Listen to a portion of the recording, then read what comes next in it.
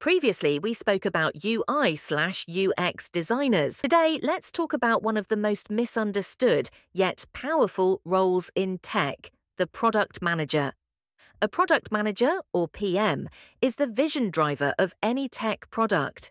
They don't write code and they don't design screens, but without them, the entire team loses direction. Their job to figure out what to build, why it matters, and how it helps the user. They sit at the intersection of business, design, and technology, turning ideas into real, usable products.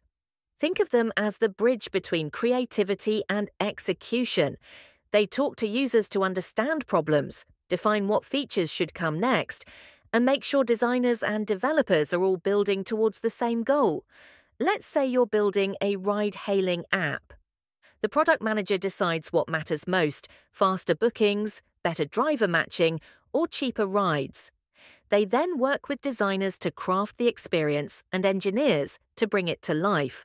They basically ensure every feature serves the user and the business. A PM's day is full of decision making, prioritizing tasks, analyzing user feedback, reviewing designs, and checking if the product meets its goal.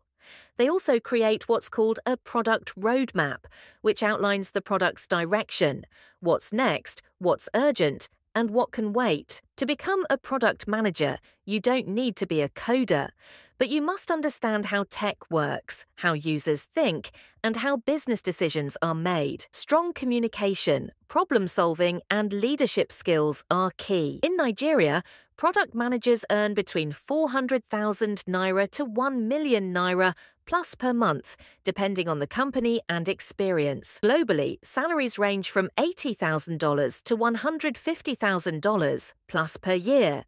It's one of those roles where you're not behind the scenes, you're at the centre of everything. You're the person who takes a simple idea and turns it into something thousands or even millions of people use.